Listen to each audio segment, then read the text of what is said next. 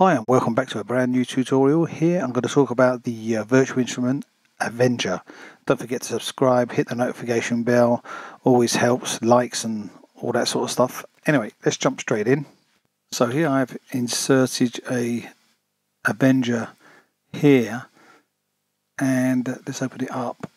So what I've done is I've uh, gone through some of these presets here. Got like a bank here and then you got in each bank you got presets like chords, drums, got drum loops, uh, drum individual sounds.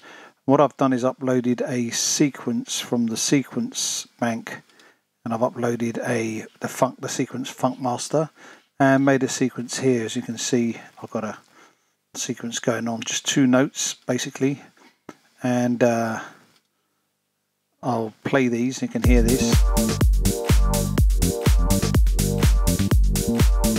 So you can hear if I hit a note, it will just play out the sequence.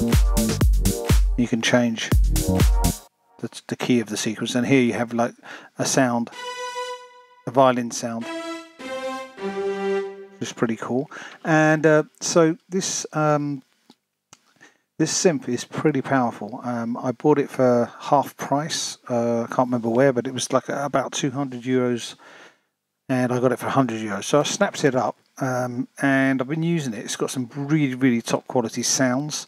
And uh, I use a lot of the bass sounds and some of the sequence drums and stuff. So what I'll do is if I like a, like here I've got the um, sequence funk master. If I like the, the drum sound, I'll export the drum sound. So to go over it quite quickly, I won't go in depth because there's a lot of tutorials out there of how this synth actually works, but I just want to show you some tricks that I use. So like say this sequence, I've got a sequence plan. I can then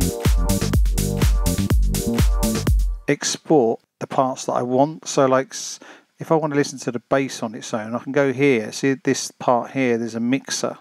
So like if I want to listen to the bass here, or the Rhodes sound, or this brass sound, guitar. And then you've got strings here. And then of course got drums.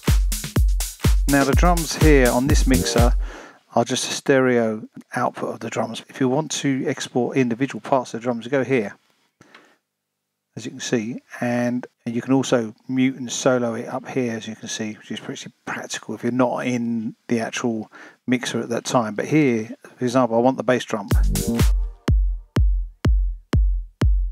Or just uh, the snare just the snare on its own. Then all I have to do there is just export it. So so that is really really cool. Now you've got all these functions that go with it as well. It's, it's crazy that what you can do uh, with the synthesized parts here uh, you can you can change the sound of, of each uh, part and uh, each synthesizer part. And you got um, this LFO section here. Uh, I won't go into it because it's quite full on and complex. You've got four amps here. Um, the bass uh, for example you got on this bass sound here you can see that I can um, if I just go back to uh, the drums and unsolo that. So so if we go bass here as I soloed it here. Now here look I can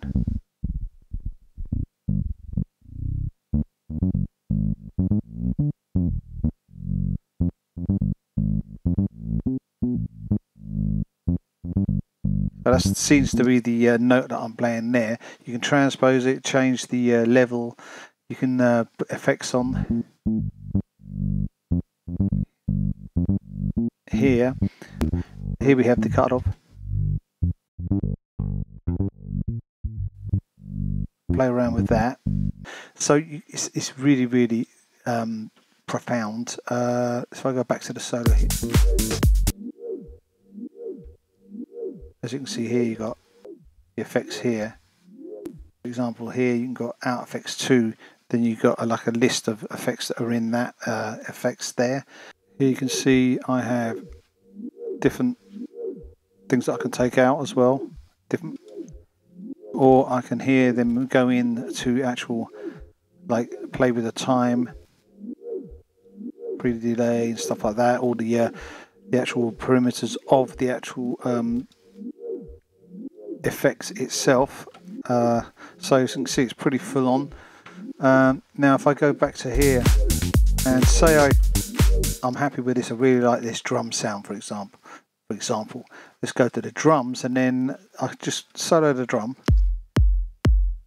Okay, now if I just close that, you can see I've got the drum sequence here. So I'd name this Avenger. So I want to export the uh, bass drum. I'll just go um, bounce in place. Okay, and then I'll just name it kick. Leave that on leave. Don't need to mute it because I want to use it for other stuff. So then it just uh, I'll export the kick now. and then I have the kick on its own here.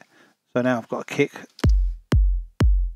and I can export all, all that whole drum pattern individually. It's what I do quite often because I, I, I really like the sounds out of this uh, out of this synth. They're really really good. So you know then I can expect the hi hat, etc. You know the bass on its own, and then have the whole sequence exported on its own if I want to, or I can just uh, make up my own bass part and play the bass myself. There's some really great sounds in here as well, like example the this one here sounds really cool. Like now, if you play this, you can hear like if I play this bass sound here on the keyboard,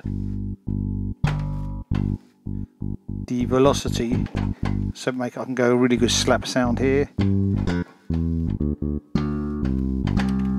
So stuff like that. It's got some great guitars in it as well. In the multi loops, you have like some pretty cool guitars. That um, this one here, for example.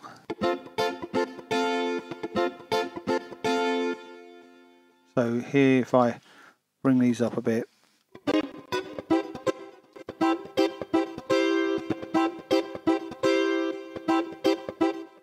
you can load up. Um, obviously, you can hear the effects on there. So there's a choice of uh,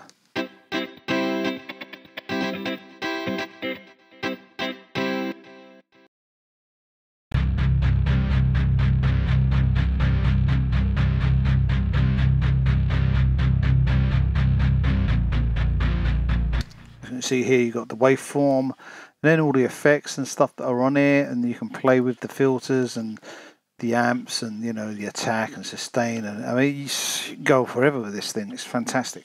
So yeah, I really really recommend the Avenger. Uh, a synth that I bought not so long ago, and um, yeah. So I hope you enjoyed this video. If you did, like, subscribe, and I will see you soon. Ciao.